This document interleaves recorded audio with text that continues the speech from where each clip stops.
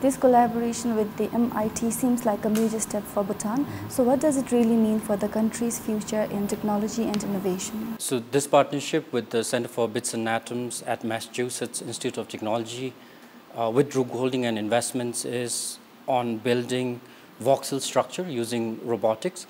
So what a voxel means is basically like a Lego block. So you can put it on top of each other or at the side of each other using robots.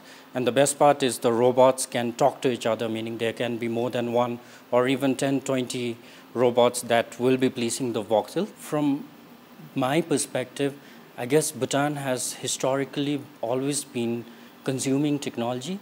Number two would be adapting technology and using technology. But then our idea here is how can we build technology in Bhutan. That's why we're partnering with some of the best university in the world, with some of the best researchers in the world.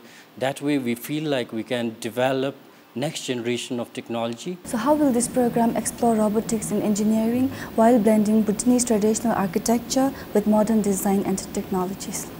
So the whole idea of the project has always been on using sustainable materials. As I mentioned, we'll be using voxels, but then now we're thinking of uh, uh, using materials that are locally sourced. For example, it could be timber, and we are also trying to see if we can use uh, uh wooden earth structures. And with that, we want to make sure that we want to involve uh, local architects, local engineers.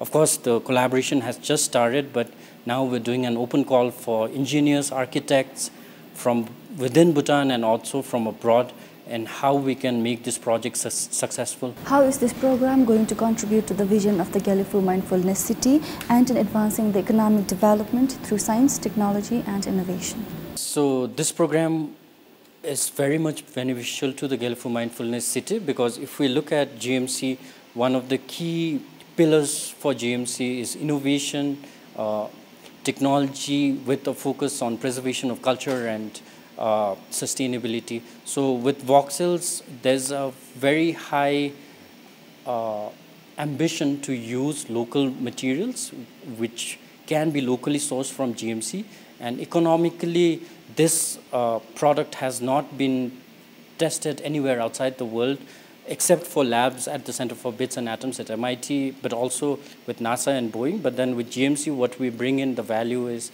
how can we construct sustainable buildings or sustainable structures using the knowledge from the people in Bhutan and from GMC in making this uh, possible. So economically, what I feel is uh, if this goes on well, then this can be potentially a product that can be Uh, given as a service outside Bhutan as well.